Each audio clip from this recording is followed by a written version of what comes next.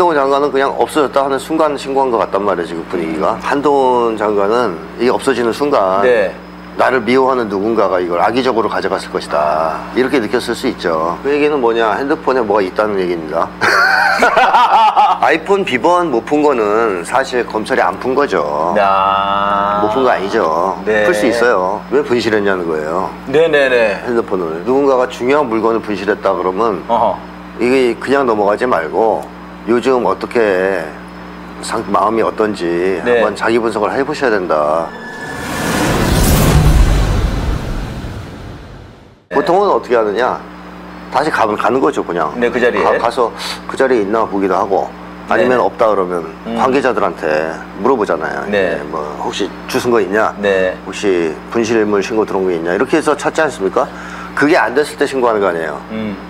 그렇죠, 그렇죠. 예, 한동훈 장관은 그냥 없어졌다 하는 순간 신고한 것 같단 말이에요, 지금 분위기가. 아 바로 신고를 했다. 바로. 네. 어, 왜냐하면 어떤 시민이 그걸 주워서 경찰서에 갖다 분실물 맡겼다잖아요. 네. 그러니까 그- 강력 형사들도 못 찾은 거예요, 그러니까. 예, 그러니까 그걸 네. 먼저 확인해야 되거든요. 누가 아. 주워서 먼저 맡겼는지, 네네. 아, 아니면 내가 어디 놓쳤는지 이걸 확인하고 이건 도난이나 이 분실이 확실하다. 음. 하면 이제 분실물 신고를 하면 되죠. 그렇죠. 왜 강력계를 불러요. 아 진짜 왜 강력계를 불렀을까요? 진짜 강력계- 우아, 우아하기가. 강력계는 도난, 네네. 예, 강도 도난 이런데 이제 뭐 약간 깡패들 상대할 때 하는 거 아닙니까? 그렇죠. 근데 네. 한동훈 장관은 이게 없어지는 순간 네.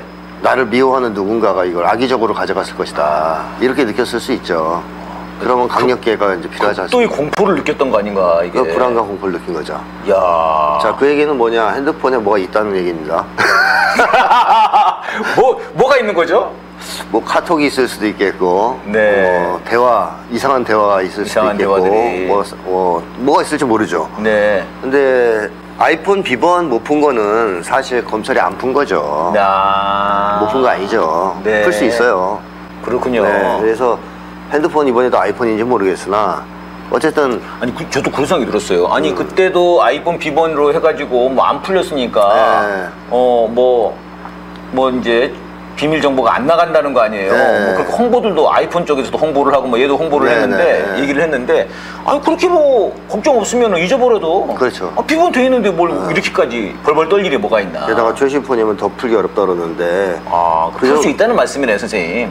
시간이 걸리지 풀 수는 있다 그럽니다. 그러니까 겁이 들렸겠죠. 네, 그게 검찰이 안 푼 거죠. 그렇게 본다면 어쨌든 어, 내 폰을 혹시 CIA가 가져간 거 아니야? 뭐 CI는 그냥 볼 수 있을 텐데. 어, 푸- 풀겠죠. 네네. 그러니까 어쨌든 그런 두려움이 있으니까 뭔가- 강력 기 형사를 불리는 과잉 반응을 했다. 이렇게 이제 봐야 될 것 같아요. 심리적으로 뭐가 들어있을 거라고 생각하십니까? 우선 뭐 카톡 같은 거 있잖아요. 아니, 김건희랑 뭐 한참 카톡 많이 주고받았지 않습니까? 그 다음에 윤석열 대통령으로부터 지령들 아, 뭐 여러 가지 너 이거 네. 해라 저거 해라 네네. 이제 그런 거 자기가 보낸 또 문자들 예. 이런 것들만 드러나도 상당히 위험하지 않을까요? 뭐 사진은 안 찍을 수 있겠지만 네네. 그 다음에 이제 또 한 가지 생각해봐야 될 것은 왜 분실했냐는 거예요 네네네. 핸드폰을 아, 흥미 있습니다. 음, 이 중요한 물건이잖아요 핸드폰은 예, 예. 이 핸드폰을 중요한 물건을 분실할 때는 뭔가 이유가 있다 아하. 라고 보는 게 사실 타당하거든요 네. 그래서 저는 예전부터 누군가가 중요한 물건을 분실했다 그러면 어허. 이게 그냥 넘어가지 말고 요즘 어떻게 상, 마음이 어떤지 네. 한번 자기 분석을 해보셔야 된다. 어. 중요한 의미를 가진 사건일 수 있다. 이런 얘기 꼭 합니다.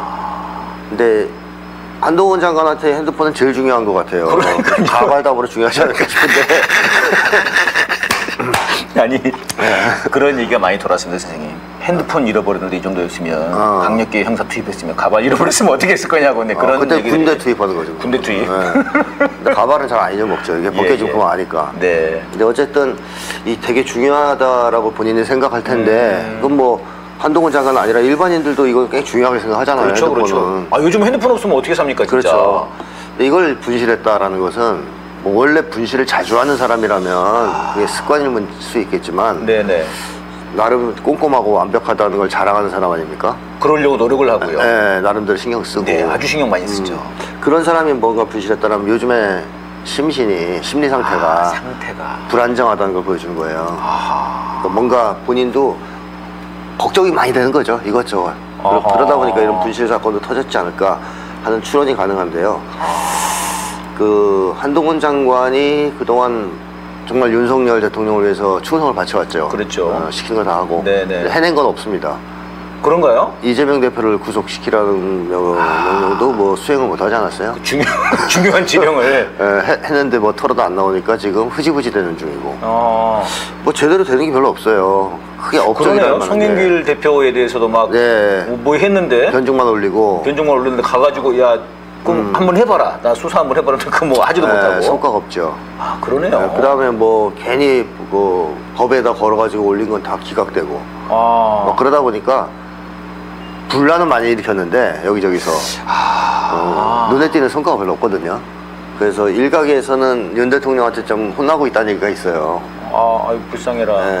그러면 이제 한동훈 입장. 한동훈 입장에서 하늘이 무너지는 상황 아니에요? 그러네요. 거기에다가 한동훈을 다음 유력 대권 주자로 보는 네. 여권 내 경쟁자들도 있을 거 아닙니까? 예. 그 사람들은 막 흔들라 그럴 거고. 네 네. 그런 여러 가지 이제 아하. 어, 상황 속에서 한동훈이 몹시 불안한 거죠. 불안정.